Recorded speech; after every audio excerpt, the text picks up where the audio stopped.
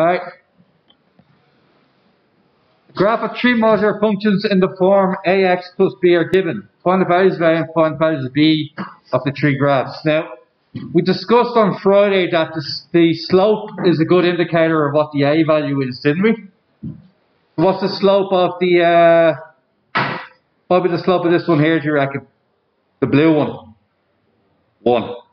So it'll be f of x equals the modulus of 1x, or just x on its own, plus b equal to something. Pick a point and test the point. So I can pick any point I want here. See the point uh, 2, 3? Ever point 2, 3? What'd be an easier point? Probably an easier point would be uh, minus 1, 0. Would you agree with that? Or 0, 1 would be an easy one. 0, 1 is actually the easiest one. Alright, you 0, 1? Eh, I'll test of them to be honest. I just want thorough in this case. Let's be thorough. Okay, when you put an x value of minus 1 in, the y value should be 0. So 0 equals, replace that with, replace x with, minus 1. This, this means b has to equal 1. Is that okay? What happened if I, if I tested 0, 1? And I sort of realised that was a mistake halfway through. What happened here? If I tested 0, 1? Or was it a mistake? Uh, f of x equals x plus b. Use 0, 1. So 0, 1 would be when x is 0, y is 1. 1 equals 0 plus b. Now what's the problem here? What's the problem with that answer? There's something I'm not happy about it. B could be plus 1 or minus 1, so I won't be happy using that point. So that's why when I thought of that initially, I said, wait a minute, that gives me two answers, while the other one only gives me one answer. So that's why you have to select, you have to select uh, accurately, alright? Always use where it crosses the x-axis. So is everybody happy that graph is simply uh, x plus 1 for the blue one? Okay. Uh, what about the red one? What's the what's the slope of the red one, Charlie? Yeah, the slope. Uh, look at the red graph. One across, two up, one across, two up. What type of slope is that? One across and two up. Is a slope of two. Two up for everyone across is a slope of two. So what does that mean about my A value? A value, anybody? 2x. Now we're going to test the uh, where it crosses the x-axis. Where does it cross the x-axis? Minus 1 and 0. So, when x equals minus 1, the answer is 0. So what does that mean about b? b will have to be equal to 2. So what's our answer? 2x plus 2. Is that right? We all good? Alright. Next part. Uh, h of x. What does that equal? Once again, ax plus b. What's the slope of h? 1 across and 3 up will give me a slope of 3x. Uh, once again, we're going to select an x value. We're going to select 0, minus 1, 0, one last time. And what we should get is the y value is minus 1 when the x value is 0. Oh, the other way around even, because that'll give me two answers. So it's 0 equals 3 times minus 1, which is minus 3 plus b. Alright, so that means b has to equal plus 3. What's h of x then? 3x plus 3. You alright with that? Cool. Alright, let's move on. Yes? What's, why they tell you the Oh, verify each equation with x equals minus 2. No bother, I'll do that now. Uh, my three equations are... My three equations are here, aren't they? Where's the f of x one? Oh yeah, it's here. Everybody happy with that? They're the three equations. Now, what does it mean by verifying where x equals uh, minus 2? What point is minus 2 for the first one? Well, for the f of x equation, when you put in minus 2, you should get an answer of 1. Let's figure that out. h of minus 2 equals 3 times minus 2. Sorry, f. I'm on f, not h. Sorry, excuse me. Sorry, minus 2, 1 belongs to f. So f is up here. So it's going to be, uh, replace x with minus 2. So it's going to be minus 2 plus 1, which is the modulus of minus 1. And does the modulus of minus 1 equal 1? Proven, isn't it? I'll just prove g of x next, then we'll move on after that. What, what's the point for g of x? Minus 2? 2. So when x is minus 2, the y value should be 2. Test it out. What's g minus 2? 2 times minus 2 plus 2? Minus, yeah, which is minus 2. And that answer would be 2. And you've verified your answers then, haven't you? Good. Let's move on. Did we have 5 to do, was it? Did somebody want 5? Okay. Now, there's 5 there. Draw these graphs on the same axis and then hence solve them, right? So does everybody know how to get them on the calculator? Where do you reckon from minus, I'll just do one of them as an example. Uh, you just put in, oh, we can do both at the same time. So you press the abs value, where's abs? There it is there. You do x minus 2. G of x equals abs x minus 6 uh, start at, I don't know, minus 5 and a 5, step of 1 and we get a bunch of points to draw, don't we? Everybody agree with that? Alright, in, in class now I'm just going to see if we can do this on my uh, on the GeoGebra really quickly, okay? So what I'll do here is I think it's I think the word is abs. So y equals abs. Ah, there it is. Yep. Perfect. Absolute x. What's the first graph? X minus 1, was it? X minus 2. Hope this works. Please check your input. Did. Ah. Maybe it works like this instead. There we go. Is that is everybody happy that's the first graph? Okay, and what about the next one? X minus 6, yeah? Okay. There they are there, isn't it? What point do they have in common? The point 4, 2. X equals 4 and Y equals 2. They're parallel otherwise, aren't they? They're parallel on the way up and they're parallel on the way down, so there's going to be no overlap. Is that okay with you guys? Now, do you remember I said minus 5 to plus 5? Realistically, was that the right way to go? I didn't go far enough, did I?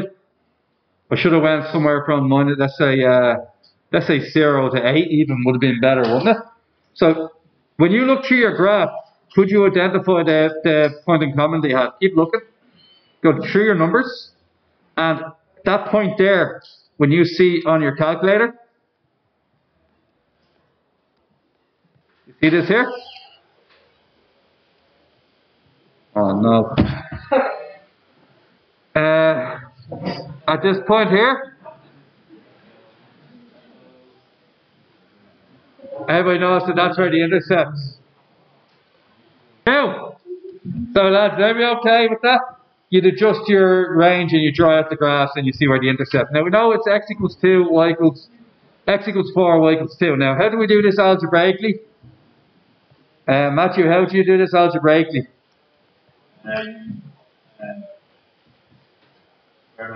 Square both sides, yeah, and we should get a uh, quadratic. How many answers are we expecting for this quadratic? Only expecting one. Why are we only expecting one, Fallon? No, that's not the reason. Uh, it's where it's where both axes, uh, it's where both graphs hit each other. How many times do they hit each other? One x value, one y value. So you're expecting stuff to happen here. You're expecting the x x squareds to cancel, which they do. And then we have 12x take away 4x equals 36 take away 4 is 32. 8x equals 32. x equals 4. And if x equals 4, y will equal. See, everybody cool with that? In this one, it'll be minus 2, which is still 2.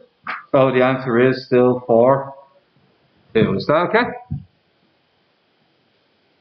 Alright, let's keep going. Alright, 7 part 2, Killian. Uh, yeah. Square both sides. What you get when you square both sides? Minus square, uh, plus 24 x. Yeah. Square 3x plus 4.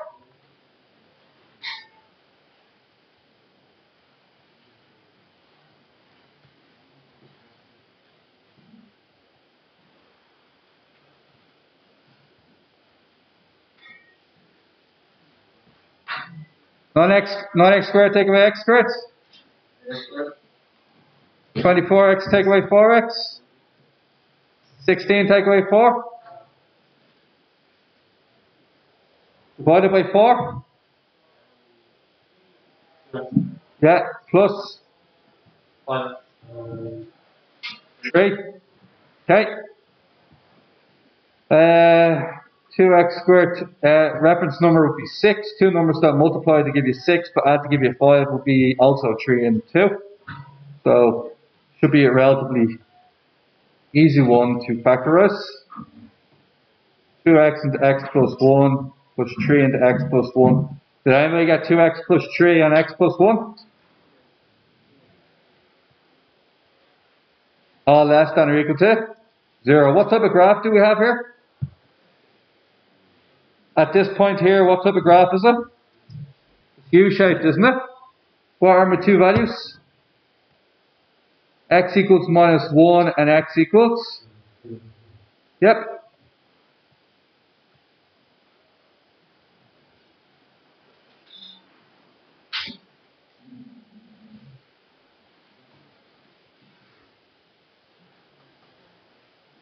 Okay, anywhere in between?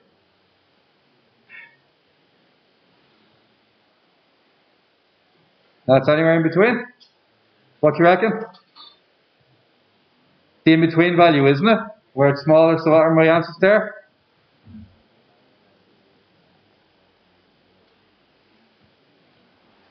Yep, we're good to go. Alright, who got that out? Yeah, any questions? Um. Alright. Guys, ready to move on? Now, lads, y equals modulus of x take away 4. What does that mean? So, for example, is if I have the point x equals minus 2, what would the y value be? The y value would be? What's the modulus of minus 2? 2. What's 2 take away 4? Minus 2. Alright, it'll work like that. What about the next one? What about, uh, what about we had x equals 2? What would the y value be this time? Same thing again, isn't it? Alright, so, if you're interested to see how it comes out, uh, you put into your calculator, obviously you put both of them into your calculator and you draw them out. Everybody already knows how to do that. Don't just go from minus 10 to plus 10 and see what suits you. See what suits you best. I'll draw them on GeoGebra now. Some of you will just call them out for me in a second. Okay, I'll go for. Alright, here we go. What's the first one, guys?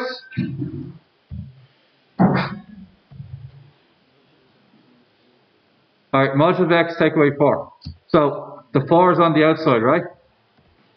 Alright, let's see how it affects it. That makes sense, doesn't it, guys? Look at this. There's the modulus of x. And when you take away 4, what do you do to all the y values? You bring all the y values down 4. So straight down like that. Everybody cool with that? And what about the next one? Yes? What's the difference between that and? I'll, I'll show you now. It's a very good question. I was actually I was actually thinking about teaching that before you asked me. Right. Can everybody see uh, the modulus of x? Are we cool with that? Now what happens if we put the minus 4 in the modulus sign? Ah, it moves it to the right 4. What happens if we did plus 4? It'd move it to the left 4. Do you see that? Right, cool. Uh, Daly, what was the uh, what's the next uh, graph in that question? 0.5x is a half x. Right.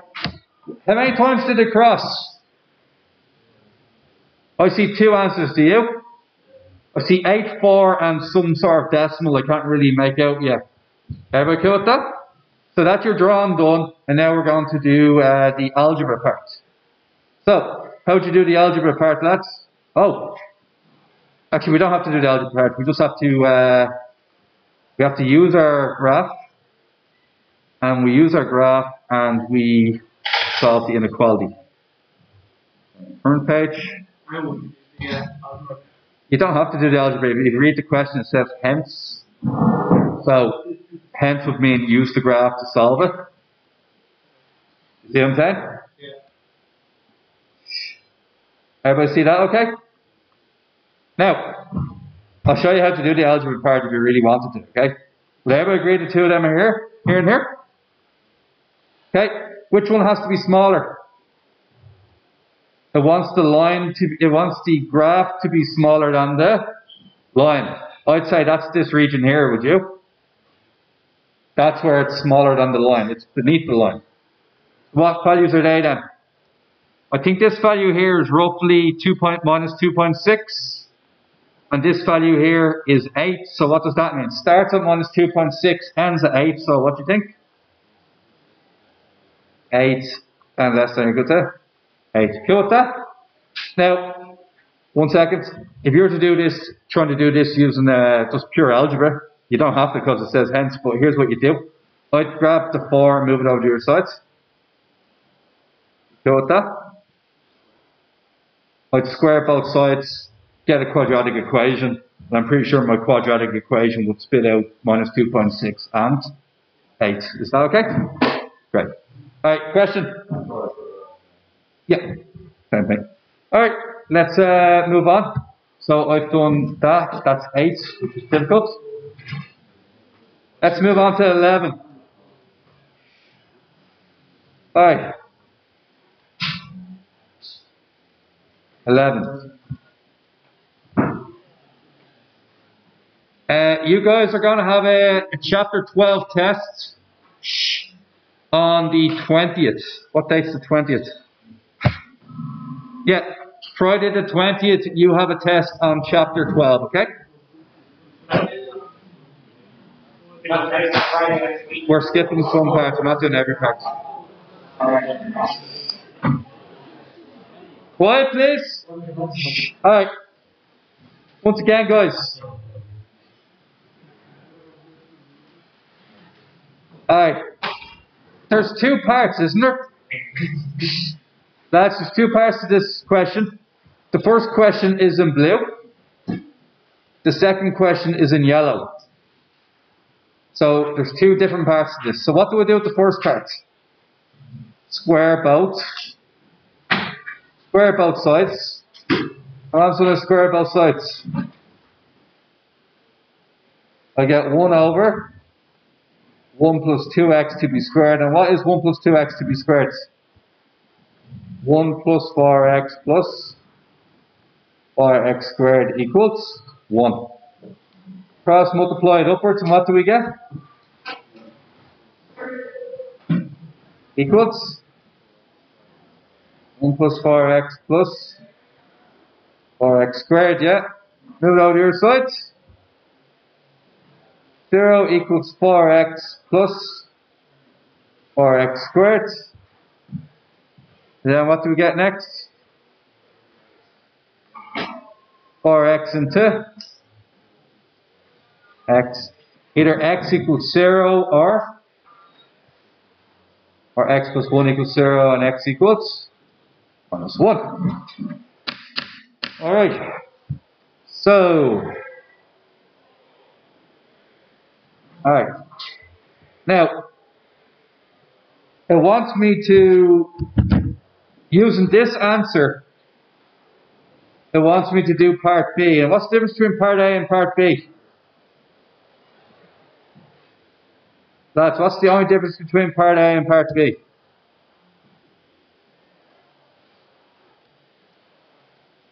What's the only difference? The, the sign, isn't it? The sign is the only difference, okay? So, uh, mess, right? So the only difference between the first part and the second part is the sign. So, when we have the sign, what we're going to do instead? 1 over 1 plus 2x to be squared less than 1. We end up doing exactly what we did over here, didn't, didn't we?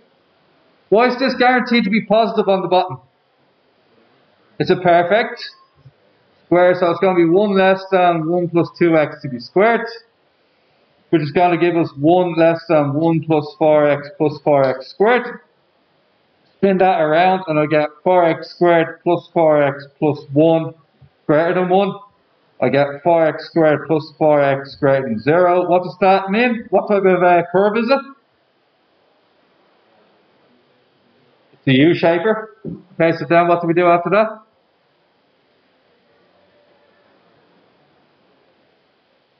What do you say? So take out 4x into, what you get there?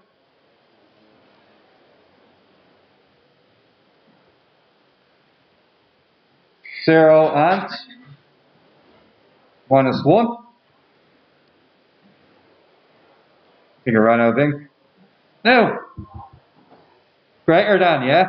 So what does that mean? The extremes or the middle? And what are the extremes? Yeah.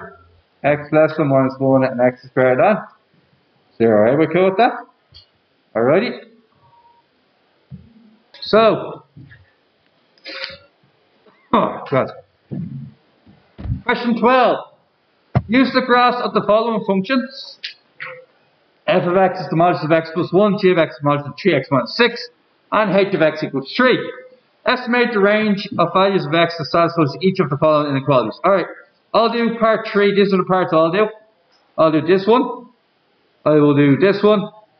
And I'll just do two of them, okay? You guys know the rest. Now, first of all, where is g of x smaller than f of x?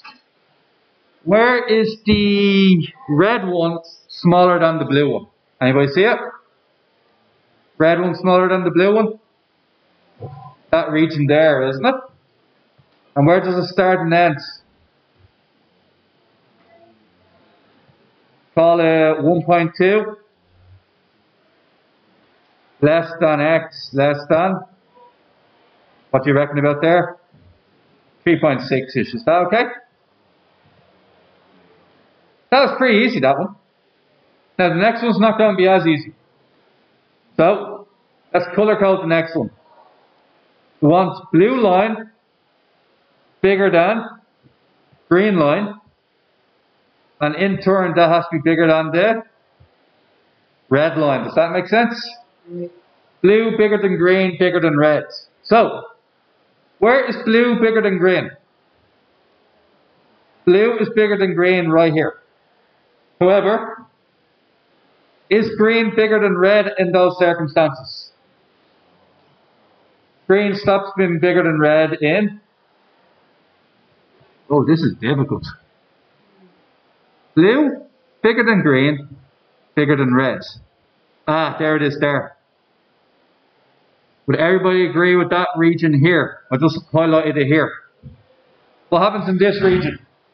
Red is smaller than green, and green in turn is smaller than blue. Would, would, that, would that make sense? So how do I write that answer?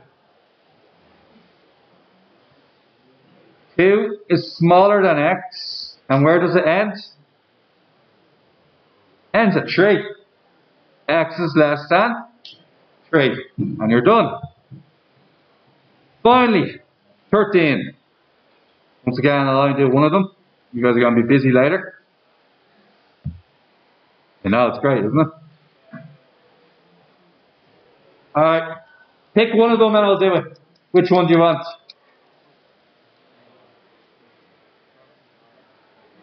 Alright, last one. Jeez, you can't have them both. Right. All of them. Alright. Look, I'll give you, I'll tell you what, I'll give you a hints how to do them, right? First one is, I cannot guarantee, is this, is that meant to be a modulus, by the way? In, in your book, is that a modulus? No. Alright, so what's it doing in this chapter, I'll never know, but let's give this a go. Uh, lads, I'm about to make a mistake. Can somebody please tell me what is said mistake? I'm going to multi cross multiply the 2x minus 1 up, and I'm going to get x less than minus 2, bracket 2x minus 1. Makes perfect logistical sense, but I've definitely made a mistake. Alex? Huh? I can't guarantee that's not negative. Isn't that right? So if it's negative, I'd have to switch around there. Signs. So Alex has a different way of doing that question. Alex, what would you have done instead?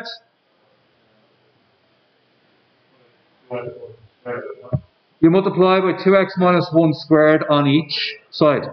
It's not a matter of knowing what to do, it's why you do it. You do it because you can't guarantee it's not negative. Okay, that's why you're doing it. So would everybody agree you're just going to multiply all that out, get a quadratic equation, and solve it. Is that okay? Now, the last one's quite easy as well. The last one's really easy. Alright, if I'm correcting your tests, and I see somebody do this, I'm just going to give you zero straight away.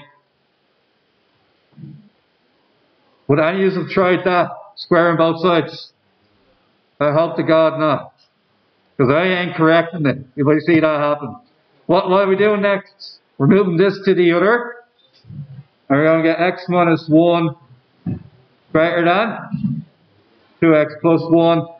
And now, and only now, do you square both sides. Alright, you're going to do question 13. You're going to do question 12. Uh, I suppose you're going to do 9 and 10, are we?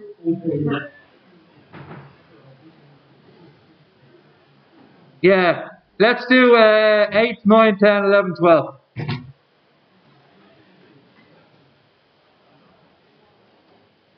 And 13. Enjoy.